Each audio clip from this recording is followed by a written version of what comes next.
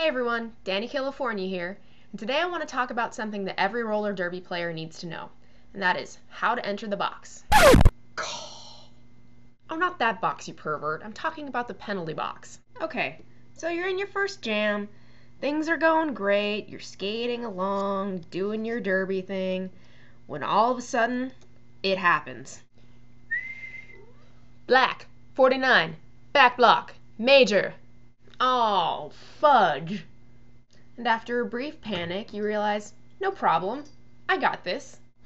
So you skate off the track and head towards the penalty box. And that's when the NSO in the penalty box tells you you have to go all the way back around to enter the penalty box. Awkward. The reason this happened is because you always have to skate counterclockwise to enter the penalty box. So what you should have done was left the track, skated all the way around the outside in a counterclockwise direction, and entered the penalty box over here. Also keep in mind there's a point of no return. If you pass this point of no return on your way to the penalty box, you have to skate all the way around again in a counterclockwise direction before you can enter the penalty box. So if I went to the penalty box correctly, but I wasn't able to stop myself before I got past my point of no return, now I have to skate all the way around again to enter it correctly. This is why you see a lot of girls take a knee right before they enter the penalty box.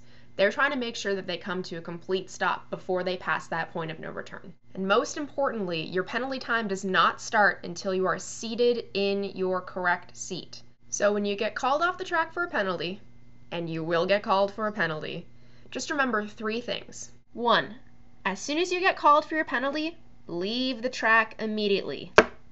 Two, sprint to that box, in a counterclockwise direction, of course. The longer it takes you to reach the penalty box, the longer it's going to take for your penalty time to get started, and the longer your team is going to have to play one player short. And three, sit in your designated seat. There are six seats in the penalty box, three for each team, one for a jammer, and two for blockers. So if you're a blocker, sit down in the blocker seat. You too, pivots, you're a blocker. If you're a jammer, you sit in your jammer seat. I don't always get sent to the penalty box, but when I do, I skate counterclockwise.